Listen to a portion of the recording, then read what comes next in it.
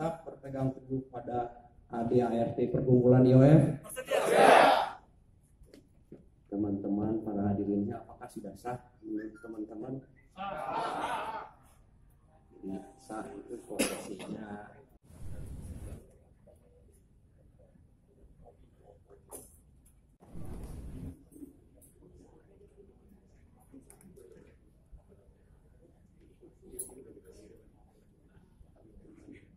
dengan pesat sudah ada banyak klub off-road yang terbentuk di Provinsi Jambi dan mereka aktif bergiat latih dan tanding.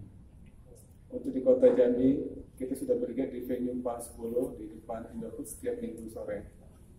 Dan untuk pertandingan luar Jambi juga teman-teman kita sudah pada ikut serta.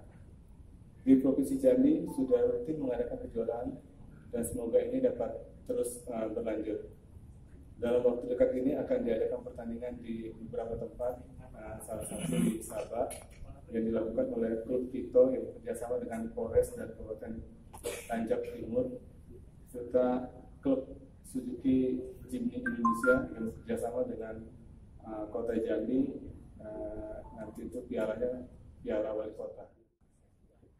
Sebelum pembacaan SK pengukuhan pelantikan 232 garis miring skep garis miring IOF garis daftar pusat. Salam